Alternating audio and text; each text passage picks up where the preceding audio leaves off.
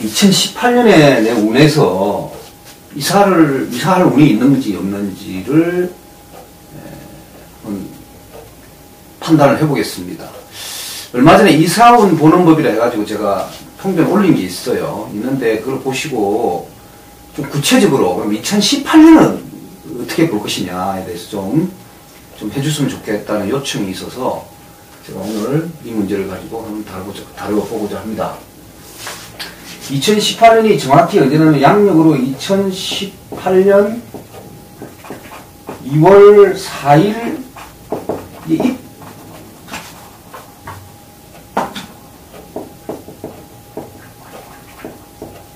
입춘일부터 입춘일부터 2018년이 시작됩니다. 그래서 지금 현재 오늘은 에, 아직 입춘이 들어 멀었거든요. 오늘이 지금 1월 2일인데 오늘 1월 2일인데 약한한달 아직은 우리가 이 학문에서 이 사주 명리 학문에서는 아직은 정유년의 기운을 받고 있다 이렇게 보시면 되겠습니다. 자 그러면 2018년은 그럼 우리가 무술년에 해당됩니다. 무술년에 해당됩니다.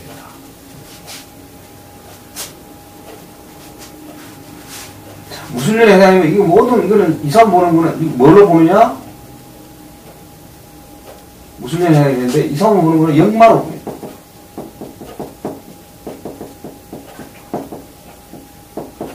역마가 동하느냐 안 동하느냐를 가지고 판단한다. 첫째는 또 두 번째는 좀 드물게 지살로도 봅니다. 지살. 지살도 판단할 수 있다. 이거는 좀 이따가 설명을 드리고 일단 역마로 봅니다. 그러면 이 술, 이 역마라든가 지살이나 이런, 이런 거는 12신살. 12신살은 무조건 뭘 기준으로 하느냐? 기준이 연지 기준이에요. 연지 기준으로 판단한다 이겁니다. 판단한다.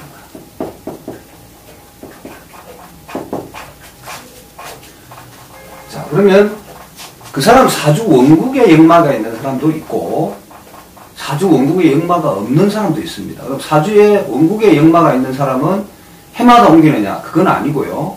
그 역마살이 온전할 때, 역마가 온전할 때 옮기게 되고, 그 다음에 역마가 없는 사람은 역마가 들어올 때 옮기게 됩니다. 그 다음에 해가 바뀜으로써 역마가 바뀌거든요. 그러면 2000, 2018년 무술년은 왜 해당하냐? 인,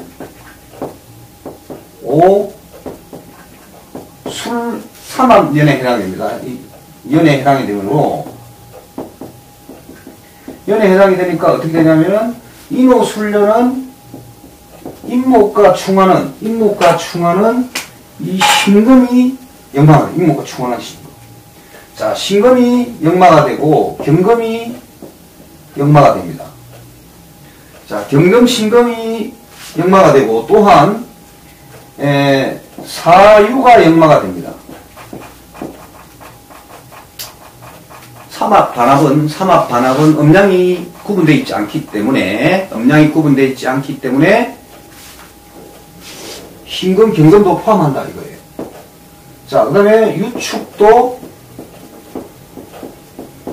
역마에 해당이 되고 다 다 포함해서 사유 축도 이것도 역마에 해당이 됩니다. 자, 신금 경금이 있으면, 신금 경금이 있을, 있으면, 천간의 신금도 역마, 역마로 볼수 있고, 지지의 유금도 역마로 본다.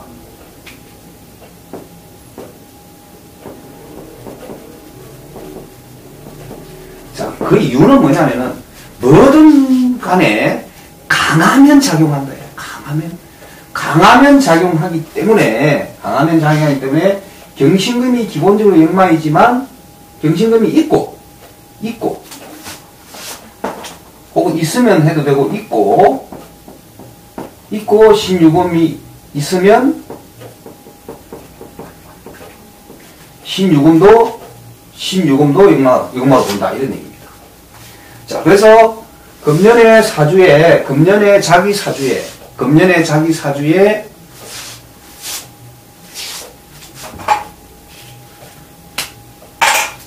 신금이나 경금 요와 같은 구조가 있고 있고 요 요런 게 자기 사주에 분포가 돼 있고 돼 있고 또 금이 강하거나 하게 되면 금년에는 아 내가 의- 내 의사와 상관없이 이동될 수 있는 가능성도 있구나 이렇게 보시면 돼요.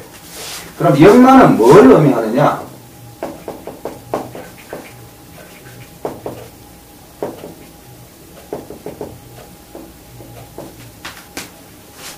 자, 이동, 변동을 의미하는데,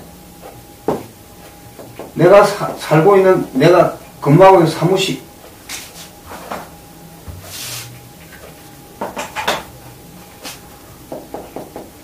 사무실 혹은 사업장, 혹은 내가 사는 집 주거, 뭐 공장, 음? 또 직업의 변동도 역마에 예, 해당됩니다. 그 다음에 직장 변동도 돼요.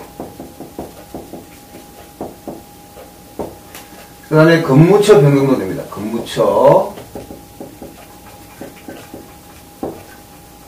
혹은 지방 발령 지방이나 서울 발령도 해당합니다. 내가 공무원이다. 그럼 공무원에 있다가 중앙부처에 있다가 지방으로 발령받고 갈 수 있거든요. 이런 경우도 다 역마에 해당됩니다. 보시면 돼요.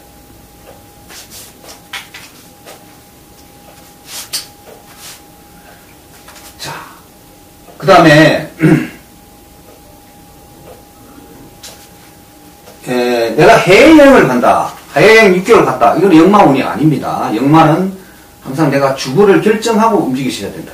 호텔을 전전한다. 이런 것은 역마운으로 보지 마라. 이런 얘기입니다. 그래서 그냥 여행 갔다 오는 거예요. 그러나 내가 해외 출장을 가가지고 해외 출장을 가가지고 한 몇 개월 동안 뭐 6개월, 1년 간다. 가서 정해진 집을 계약을 해서 거기서 출퇴근을 한다. 이것은 역마운에 들어간다. 이렇게 보시면 되겠습니다.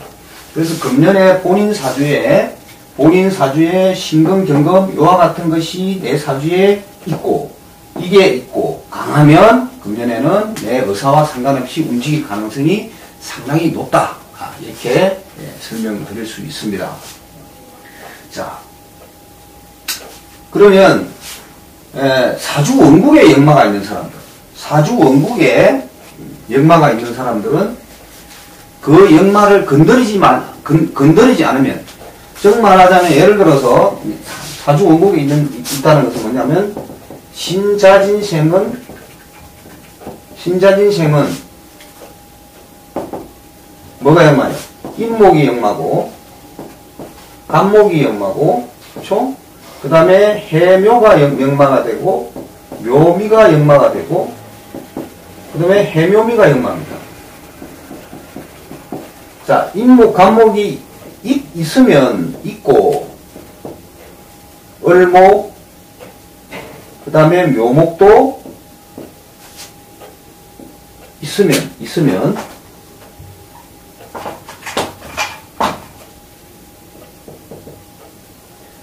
인목, 묘목도 역마다. 역마로 본다. 이렇게 보면 됩니다. 그러니까, 신자진생은 금년에 그 시, 생년과 상관없이 이거는 생년과 상관없는 거예요. 상관. 생년과 상관없이 그 사주에 금년에 내가 생년 생년하고 아무 상관없이 내 사주에 이런 게 있으면은 금년에 움직일 가능성이 많다. 이동 변동 이와 같은 것 이와 이와 같은 상황으로 움직일 가능성이 첫째 많고 자, 내 생년하고 상관있게 본다면, 신자진생은 인목, 간목, 이와 같은 게 역만데, 이게 내 사주에서, 내 사주에서 인목, 간목이 있는데, 옆에 신금이 있어버렸, 있- 깨어버렸다. 그러면, 금년에 이동할 운이 없습니다. 또, 간목이 있는데, 경금이 깨어버렸다. 그러면 이동할 운이 없습니다. 자, 이와 같은 경우인데, 여기, 여기 해묘, 묘미가 있고, 해묘미가 있는데, 여기 유금이 있다. 유금이 깨버렸다. 이런 경우도 이동할 가능성이 없다. 이렇게 보면 됩니다. 그래서 첫째 연으로 보고 그 다음 내 사주의 연지를 가지고 또 역마를 뽑아가지고 이게 자유로워질 때 신자진색은 인목, 간목이 뜻이 있으면은 금년에 이동할 가능성도 있다. 이렇게 보면 됩니다. 자, 이제 역마는 이렇게 보시는 것이고, 그 다음에 지살. 그래서 역마는 뭘 비유하냐면 장군이 타고 다니는 말에 비유했어요. 예전에. 장군이 타고 다니는 말에 비유해가지고 장군은 수시로 말을 타고 움직인다 이겁니다. 그렇기 때문에 이동이 가능성이 높다 이렇게 본 것이고 이 지살은 임금이 타는 가마에 해당된다. 그렇죠? 임금이 타는 가마에. 찍어줘.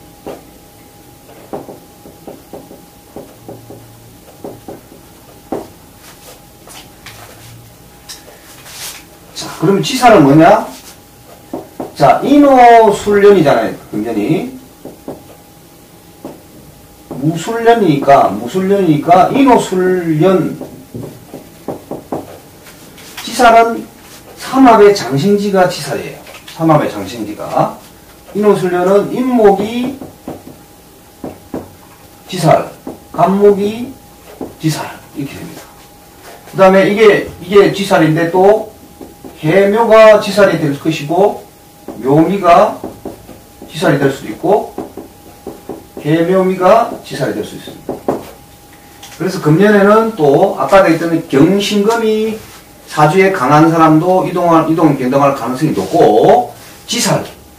지살, 이러한 것들이 또 사주에 강한 사람도 이동 가능성이 있다. 이와 같은 이동, 이와 같은 이동 가능성이 있다. 그러면은 지사라고 역마하고는 어느 게 강하냐? 역마가 훨씬 강합니다. 훨씬. 그리고 지살은 약하면 작용 안 해요. 지살은 인목 하나 있다고 지살이니까 이살한다. 그렇게 얘기하기가 참 애매해요. 인목도 있고 간목이 있다든가 해서 이와 같이 강해야 돼요. 이거는 지살은 강하지 않으면 작용 안 한다.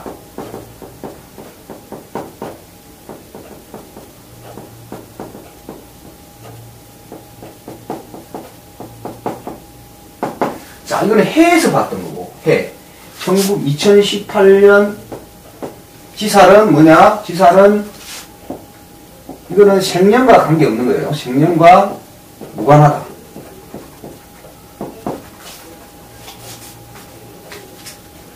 자, 그러면 생년하고 그럼 관계되는 되는 지살은 어떻게 되느냐? 예를 들어서 사유축생은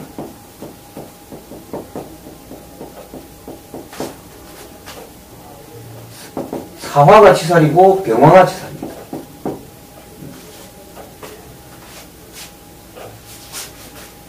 그 다음에 인호가 지살되고 지살을 강하게 만들어주고 오술 그 다음에 인호술이 강하게 만들어 이것도 이런 식으로 강하게 만들어주게 된다. 그래서 사유축 생애인데 사와 병 화가 강하단가, 인호가 강하다, 오술, 인호술이 강하단지 하면은 이것도 작용하는데 이것도 역시 마찬가지로 그 사주에서 강하지 않으면 작용 안 한다. 이렇게 결론 지을 수 있습니다.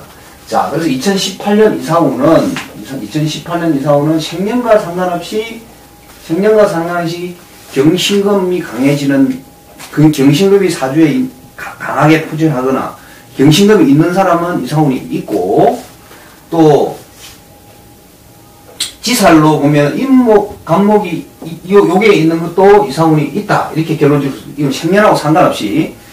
그 다음에 자기 생년하고 상관 있는 것은 이와 같이 적용을 해줘야 돼.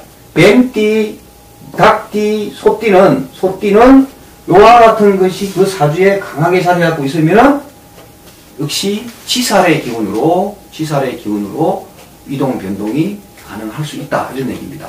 그래서 역마는 역마가 강하면 역마 운대로 가는 것이고 지살이 강하면 지살은 강해야 됩니다. 지살은 약 한두 개 있다고 해가지고 그게 무조건 당신 이사 간다 이렇게 설명하기는 어렵고 지살은 강해야 되기 때문에 강하면 역시 지살군에도 이동할 수 있겠다. 이게 2018년 생년과 관계없이 우리가 이사운을 보는 법이 되겠습니다. 이것은 어- 어디에든 같이 그냥 쭉 해- 해가 바뀔 때마다 이와 같이 적용해서 방법은 똑같습니다. 적용해서 여러분들이 보시면 되겠습니다.